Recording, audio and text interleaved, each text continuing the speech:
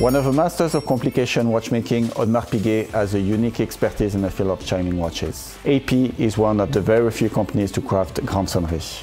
One of the brand's latest creations even adds or incorporates their supersonnerie concept into a Grande Sonnerie.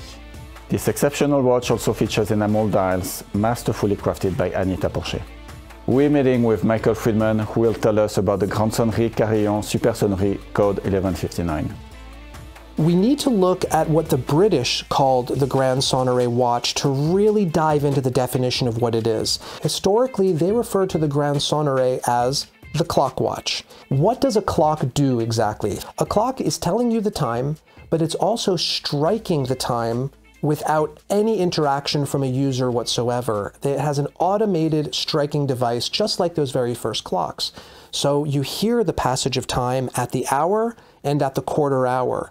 This automated striking mechanism is the basis behind the Grande Sonnerie and why the British refer to it as the clock watch. This is the principal differentiation of a repeater to a grande Sonnerie or a clock watch. On a repeater, you have to actively slide the lever or press a push piece to hear the time, whereas on a grande Sonnerie or clock watch, you have that option, but you're also going to hear the watch strike on its own autonomously when it's on the appropriate setting. What makes the Grande Sonnerie so technically challenging to produce and why so few watchmakers historically and today are able to produce them is it goes so far beyond a traditional minute repeater in terms of the number of components and the coordination required of the mechanism to accommodate all of those calculations. A minute repeater is already an immensely complex device, needs to be programmed for 720 musical sequences. Now we're taking a minute repeater and adding a whole additional functionality to it of this automated striking mechanism. This is why the number of components goes up so much between a minute repeater and a grande Sonnerie. And that's the essential element and the essential ingredient of why they're so complex and why they're so rare. Audemars Piguet's story of the Grande Sonnerie really begins right when the company is founded in 1875 according to the archives, were already producing Grande Sonnerie watches by the early 1880s. The Grande Sonnerie at Audemars Piguet in the 1880s and 1890s, sometimes it was produced with no other complications, and other times it was part of larger format watches with additional complications, even beyond a grand complication. Not only were they very difficult to produce, but they were also incredibly expensive at the time. These were among the most expensive objects, not just watches, but objects that could be acquired before the turn of the century.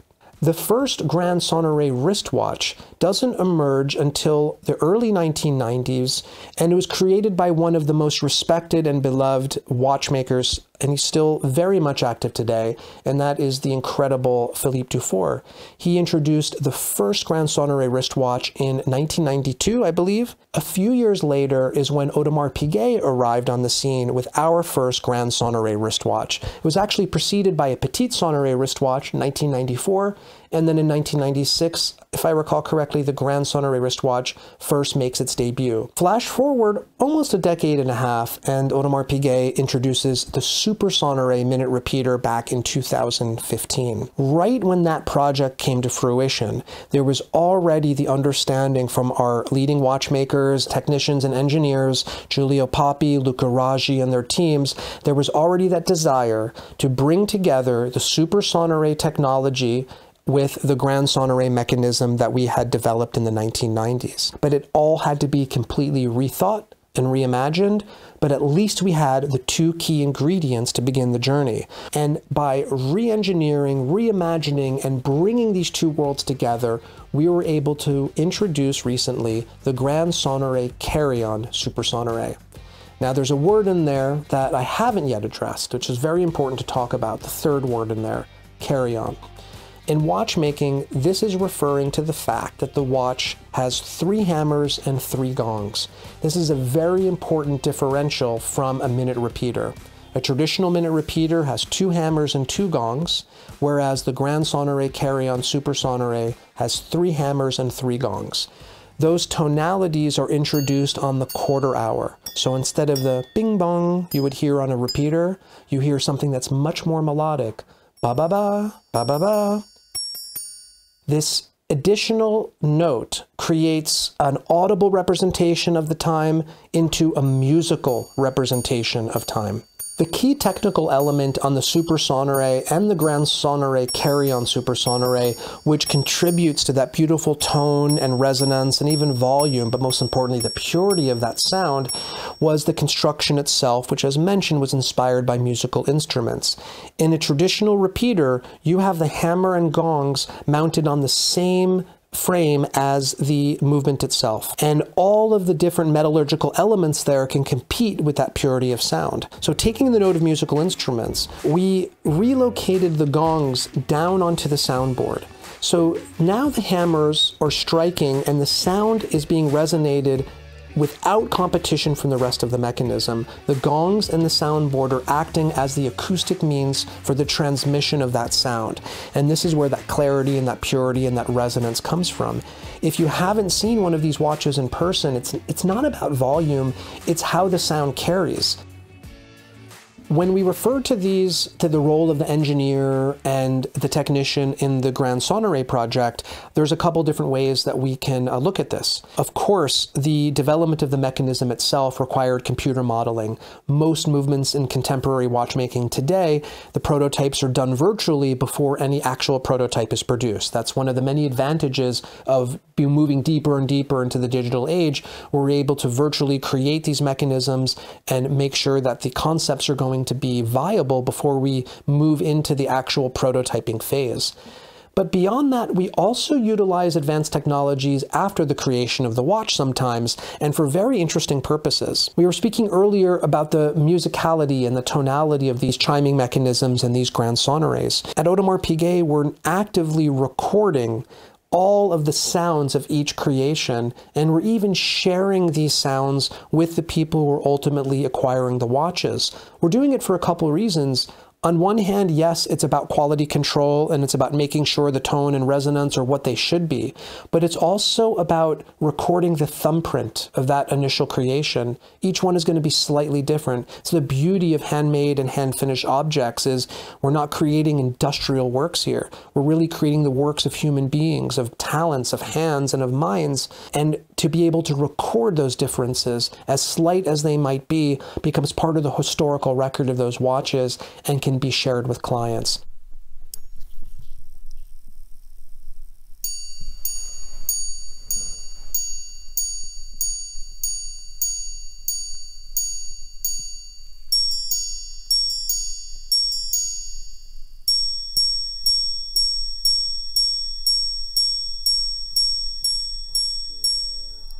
Now, having said that, for those of you who have heard the Supersonnerie, the watch resonates over very, very long distances, and the volume is quite strong. Traditionally, the Grande Sonnerie was meant to be a somewhat discrete complication. So like most Grande Sonneries, there's a setting on the watch where if you want to reduce those sounds, which also is of course saving energy on the barrel, you have the option to turn the Sonnerie off or to shift it into petite sonnerie mode. For Audemars Piguet's Grande Sonnerie Carillon Super Supersonnerie, we actually simplified the petite sonnerie so it's only giving you the hour striking. Why does a Grande Sonnerie watch typically have two barrels, two winding barrels on it? This is all about energy you need a lot of energy to fuel all of this chiming mechanism, and you can't disrupt the timekeeping aspect um, when you're activating the chime. This is essentially also why the Grande Sonnerie Carillon Supersonnerie has two barrels. It's a bidirectional winding system. So by winding in one direction, you're winding the spring for the chiming mechanism, and by winding in the other direction, you're winding up the spring for the timekeeping mechanism. We have only three watchmakers in the entire company that are crafting the Grande Sonnerie Carillon Supersonnerie. They're able to do one to two per year, depending on the timing and the pace, and each watch is customizable. Each watch can have elements of the decoration and the design so the client can really be part of that journey in creating something special. For the first year and into this year, we've had the great honor of working with one of the most accomplished living enamelists, incredibly creative and passionate for her craft, Miss Anita Porchet. So our clients have had the opportunity to acquire not only a Grande Sonnerie Carillon Super Sonnerie, but one with customized dial created through this incredibly talented individual and her atelier.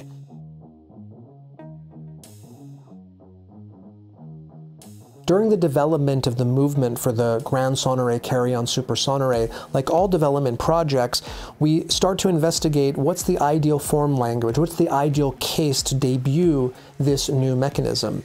If you remember, the Super Sonnerie back in 2015 was launched on concept together with Tourbillon. The Super Sonnerie then made its way to the Jules Audemars collection and then on to the Royal Oak collection when we were looking at the possibilities of the Grande Sonnerie Carillon Super Sonnerie, we knew at that point that we were going to be working with an enamellist even before we arrived at Anita Porchet, and we asked ourselves, what's the ideal canvas for an enamelist to create their work? What dial do we want to work with? What form do we want to work with? How can we emphasize the dial and emphasize that craft in the best way possible so when you look at the watch, you're first drawn into the art and then your eye is carried down to the rest of the watch, the case, the lines, the edges, and then ultimately all of those subtle details. And it was for these reasons why we chose to launch the Grande Sonnerie Carillon Super Sonnerie within the Code 1159 collection, in terms of respecting the enamelist and her work, as well as putting the emphasis on the dial as that first impact before discovering all the other subtleties of the watch. The Code 1159 collection was the ideal canvas to do so. As we were discussing earlier, the Grande Sonnerie Carillon Super Sonnerie has a movement that is created by only one of three watchmakers here at Audemars Piguet in a dedicated atelier. It's really a specialty workshop within the company. These watches have 498 individual components, all of which will be entirely hand finished by the watchmakers before being assembled, disassembled, reassembled, and disassembled, and finally tuned so the watch is upon completion. It is a real work of art and a work of passion in that sense. It's very, very critical to humanize the different individuals that work on these watches. So much of horology is industrial today, and there's nothing wrong with that. Industrial watchmaking is a big reality today. We have our own aspects of industrial machinery here at Audemars Piguet, but it's all the more reason on a watch that's crafted like this is to put the emphasis back on those few men and women who are doing this work by hand in very, very traditional ways. This is echoed at Audemars Piguet within the Grand Complication Workshop now within the Grande Sonnerie Carillon Super Sonnerie workshop, as well as other ateliers throughout the company. It's about always establishing that balance between the traditional techniques and the emerging and more modern technologies along the way.